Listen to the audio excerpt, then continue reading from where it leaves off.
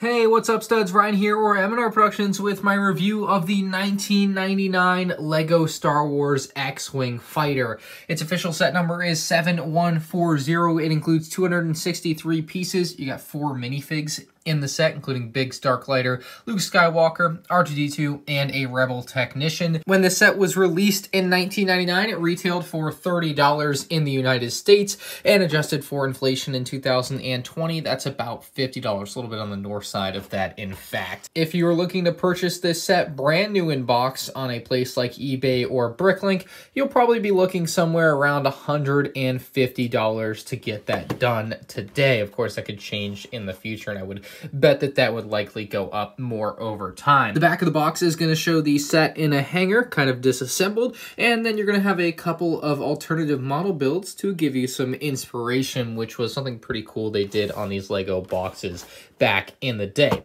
First up is R2-D2, and of course this would be one of the first appearances of this minifigure in a LEGO Star Wars set, and for 1999, it looked good enough in my opinion. I've talked about this figure a lot. He showed up in quite a few 1999 sets, so I don't really have much else to add to that if you haven't seen my other reviews. Basically, this figure is good enough for the time, but obviously uh, the newer versions are much, much better. Next on the chopping block is Luke Skywalker, who LEGO did a great job with. I think this one obviously uh, doesn't stand the test of time. No back printing, no leg printing, no waist printing, and obviously the torso print is very, very bare bones. I actually think the helmet looks pretty good though for 1999. The face print, you know, it resembles Luke enough, I guess, but the best thing of this character is going to be that chrome, shiny lightsaber with the blue blade there. Gotta love that classic chrome. Obviously, they don't produce that anymore, but still a great minifigure for the time and great lightsaber hilt, of course. Biggs Darklighter was also included in the set and really added a nice bit of flair to the X-Wing in my opinion. His mustache and classic checkerboard print on that helmet are just excellent for this set in my opinion. I really think it added a nice bit of style to this X-Wing, a nice flair that it wouldn't have otherwise had if you just included the Luke and R2-D2 figures. So this was a really nice inclusion by LEGO, even though you obviously can't have two pilots at once. It was nice to be able to trade out when you wanted and have one figure in and out of the X-Wing. The torso print is exactly the same as Luke, but again, that mustache is just one of the coolest things I've seen on a LEGO figure. It's a regular smiley face, but with a mustache. The fourth and final minifigure included in the set is a Rebel Mechanic, and I'll be honest, this one looks a little bit weird. He once again retains that regular smiley face, but it's got quite a bit added on top of it. You have a crazy mustache, even crazier than Mr. Darklighter's, and then you have this like stubble beard going on, and then you have hair coming down and out from underneath the hat, and I'll be honest,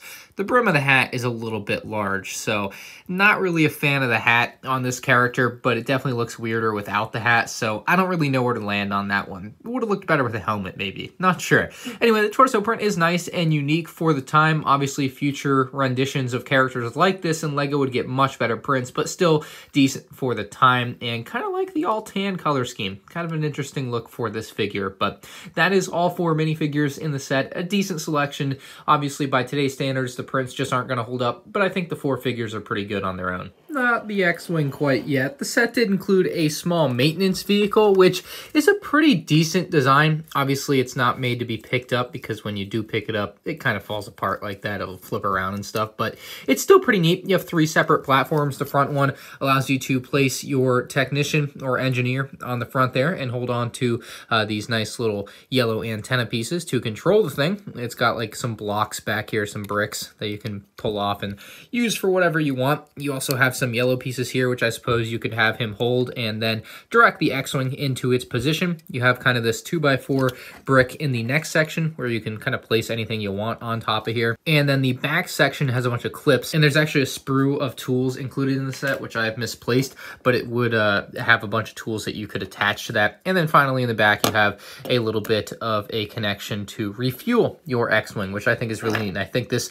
uh, is big and bulky because it's supposed to hold the fuel in there, at least pretend to. So that's really neat, and that is the little maintenance vehicle included in the set let's bring over this X-Wing from 1999. What a blast from the past, an absolute classic, a beauty. The only original trilogy style X-Wing to ever be made in gray. After this model, they went white with all of the future X-Wings, and something really cool about this X-Wing, I bought it brand new, and mine came with a mismolded piece. That's pretty crazy. That does not happen very often, and I got very lucky with that, so I just thought that was pretty cool and something I would share during this review. That's not a typical experience with a LEGO set, though. The front of the X-Wing features a nicely printed piece there with a nice granulated design, which kind of goes from dark to light as you move back. So that's kind of nice, something you don't see on any of the other LEGO X-Wing sets. You'll actually notice there's a red stripe running down the nose of the X-Wing as well, which turns gray at the very front here. The front landing gear is nice, although I will say it falls off very easily, so it's definitely not my favorite landing gear design on an X-Wing. You can certainly pull it off when you want to use this in flight mode or whatever, but again, it doesn't just fold away nicely like the modern day X-Wings. So that's definitely a drawback of this set. Something else that's weird, just kind of like a design flaw or something, something that is maybe intended but not really great is this little storage area. Not really sure how exactly I feel about that. They definitely could have just put in a 1x4 plate and had that connect up and been done with it, but I guess it's a nice extra storage area for people that want that. I just think it's a little bit awkward sometimes if you accidentally open it, like it's just not supposed to do that, but it is what it is.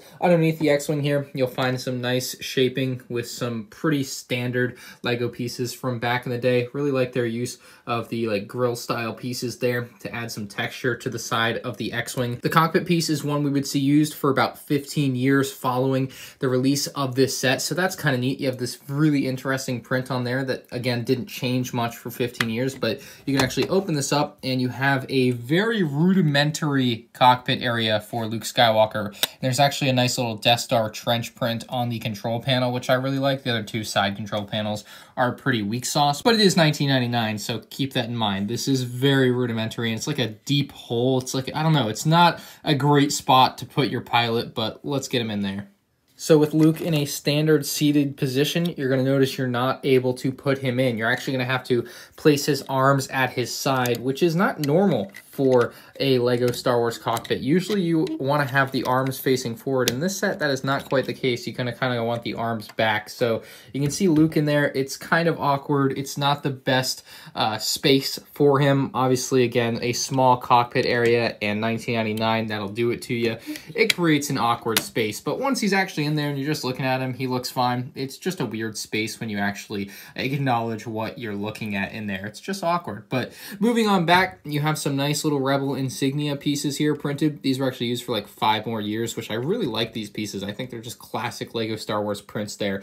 Very beautiful. And then you actually have a little spot for R2-D2, which is still kind of open on the sides. They didn't really close it off, unfortunately. I guess they just didn't have the uh, space to do so there, but you can drop R2-D2 onto uh, the stud jumpers there, and he's going to fit very nicely in there, just barely peeking out over the top of that piece there, but it does work very nicely, and, you know, uh, annoyance aside that it's not really filled out on the sides, it doesn't really matter to me. It looks just fine for 1999. Opening up this back hatch here will reveal more storage, and this is where I'm going to attempt to store Luke's lightsaber, if we can get this hilt off, just like that, the bottom, and then the uh, blade on top there. Quite a bit of space there there, and then you can close that back up very easily. Really like this piece from back in the day. I don't really see that anymore, but it's a very smooth hinge piece that works really nicely. I don't know why LEGO did away with that and they don't use it very much, but I think it's pretty clean and works very nicely there. You can see on the back side here, you have another one of those control panels. Not really sure why there's a control panel on the back end of the X-Wing, but they decided to throw it in there.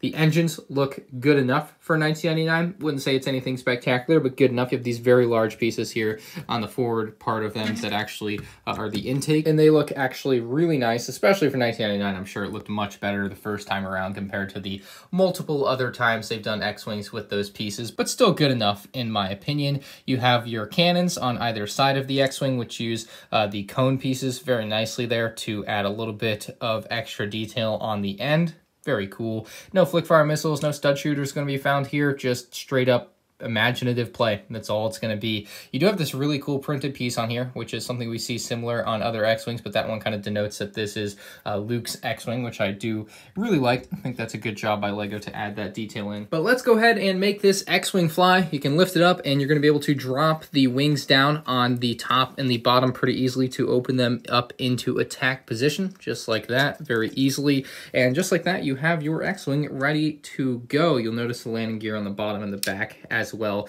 is quite bulky and can get in the way. So that's kind of interesting to see there that it does uh, kind of jut out quite a bit like the one in the front doesn't fold up. Uh, the newer X-Wings do a much better job of hiding that back landing gear and of course the front landing gear will just kind of fold up. But in this case it does not and it does look a little bit awkward in my opinion. Just not quite as refined as current ones and that's to be expected. I will say another downside of this X-Wing design is these engines and the fact that if you're kind of holding it in the back here, um, you can knock these off really easily. They just pop right off. There's no Technic connection holding them together like you would see on modern sets. So that's just one small downside of it is that you can easily knock them off, but obviously you can put them back on just as easily. So overall, what do I think about this set? I think it's a very interesting X-Wing. It's very different philosophy-wise from the other X-Wings, which obviously LEGO used white instead of gray because in universe, this vehicle is kind of gray. Like it definitely has that hint of gray, but LEGO does sometimes just make those things white because it looks cleaner. Another example would be like the Snowspeeder, 1999 Snowspeeder. They made gray. All the other ones since then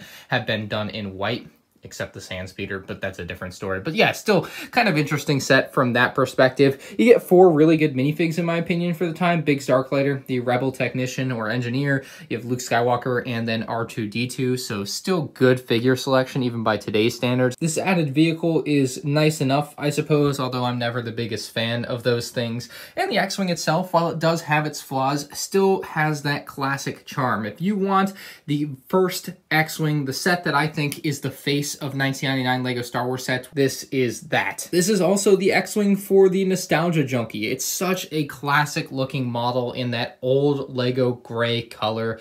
Is it worth paying $150 for? That's a bit of a tough question to answer. That would very much depend on how much money you have, and even then, if you spend $150 on it, should you open it? Honestly, probably not. You should probably display it in the box, but then again, Legos are meant to be opened and played with, so there's that too. You can definitely spin it either way, but from a collector's standpoint, if you're just collecting it, you could probably just buy it, keep it in the box, and be like, hey, this was one of the first LEGO Star Wars sets. It was the first X-Wing in 1999, and that's kind of a cool thing to be able to say you have sealed in the box. So let me know what you guys think down in the comments section below. I'm going to give this set an 8 out of 10. I think it's a really good set. While it does have its flaws, it's still such an instant classic from LEGO Star Wars from 1999.